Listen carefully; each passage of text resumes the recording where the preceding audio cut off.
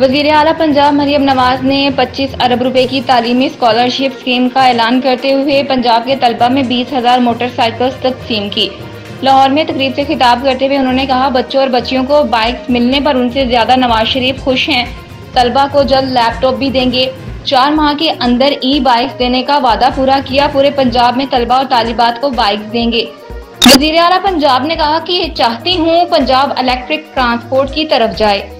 दूसरे मरहले में मोटर बाइक की तादाद भी बढ़ाएँगे। चाहती हूँ कि तलबा की तमाम तवज्जो अपनी तालीम पर हो। सिर्फ़ बाइक्स ही नहीं, तलबा के लिए लैपटॉप स्कीम भी ला रहे हैं।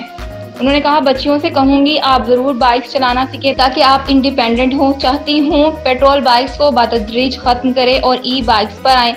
तलबा को दी गई ई बाइक्स की बैटरी की इंश्योरेंस भी करवाई गई है। Chief justice Islamabad high court Aamir Farooq ने बताया है कि मैं सबक चीफ जस्टिस मियाँ साकिब निसार के चैम्बर का हिस्सा रहा हूँ। मियाँ साकिब निसार और उनके वालिद मियाँ निसार दोनों वो चैम्बर चलाते थे। Chief justice Islamabad high court Aamir Farooq ने Islamabad high court bar association की तकरीब से खिताब करते हुए कहा, नौजवान बुकला की रहनुमाई के लिए बार कौंसल्स को किरदार अदा करना होगा। किसी वकील से सरजनिश का मकसद किसी की दिल आजारी नहीं, बल्कि सिखाना होता है। ये प्रोफेशनल और असूलों का मामला होता है। Chief justice Islamabad high court Aamir Farooq ने कहा, हम फैसला लिखते हुए नहीं सोचते कि रोशरम पर किन जुमलों का तबादला हुआ। उन्होंने ज़ोर दिया कि नौजवान मुखला को केस की तैयारी के अलावा अच्छे आदाब के साथ अदालत में पेश होना चाहिए। हमारे वक्त में अगर किसी ने केस की फ़ाइल नहीं पड़ी होती तो अदालत से डांट पड़ती थी। हज सीज़न के अख्ताम और सऊदी अरब में शदीद गर्मी के बाद मुतहदा अरब अमारात में उम्र के पैकेज की कीमत में 25 फ़ीसद कमी कर दी गई।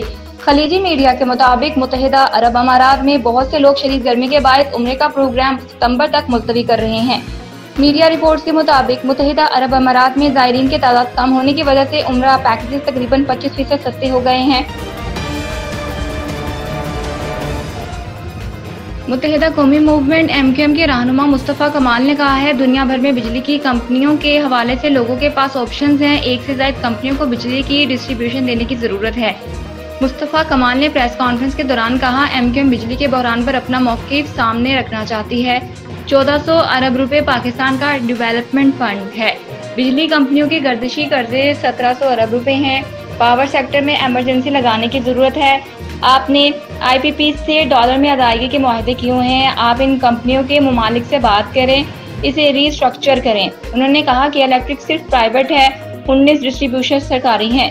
पाकिस्तान में डिस्ट्रीब्यूशन कंपनियों की अजरादारी खत्म नहीं की तो ये मसला हल नहीं होगा।